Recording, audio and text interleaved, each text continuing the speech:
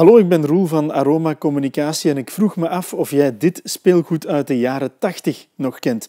De drie magische cirkels van Rubik's. Wel, ik vergelijk het een beetje zoals de dag van vandaag met de online marketing, waarin heel wat KMO's en industriebedrijven uh, stilletjes aan hun communicatie hebben opgebouwd. Ze hadden eerst uiteraard een corporate identity, een bepaalde huisstijl. Nadien is er een website bijgekomen en als derde zijn ook velen actief geworden op sociale media, maar net zoals deze drie cirkels zijn het allemaal afzonderlijke eilandjes.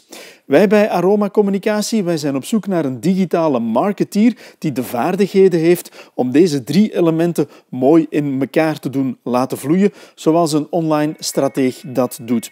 Het is net zoals bij deze drie magische cirkels een eh, kwestie van het op de juiste manier te doen, de juiste strategie toe te passen, waardoor alle eilandjes uiteindelijk geïntegreerd worden dankzij een online strategie tot één groter geheel.